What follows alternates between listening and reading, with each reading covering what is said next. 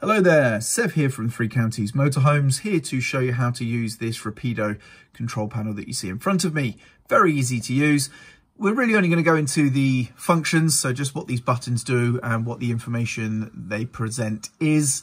Uh, any deeper troubleshooting or use, I strongly recommend you read the instruction manuals. This is just more of a quick start guide, if you will.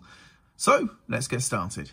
So first things first, you turn on and off your motorhome using the power button like so. And as you can see, it does a bit of a lights check and then we're all fired up. And you get a little light here to show that the panel is indeed on.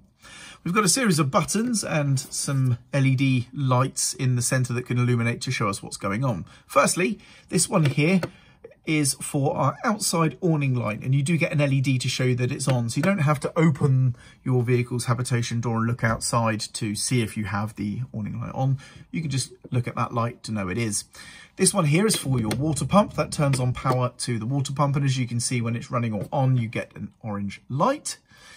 And then over here, we can check our batteries and water tank. So at the top here, we have a battery with a motorhome inside. Press that the same symbol lights up here and then we get an indication of the battery level just there.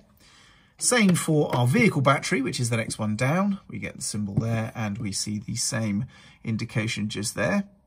And then we can do our fresh water tank, which as you can see, will light up like so. Uh, very easy to understand what you're looking at there. Now, if this symbol comes up here, that shows that your waste tank needs emptying. If you're plugged into mains electric, you'll also see this illuminated right there. And I'm going to go plug this van in and show you what that looks like.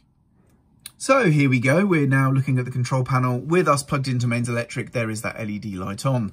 Another LED can illuminate here if your electrical system is wired to charge both batteries at the same time. And now you can see we have charging voltage reflected in the leisure battery there. So that's come up a little bit as a result, but that's what it looks like when you're plugged into mains electricity.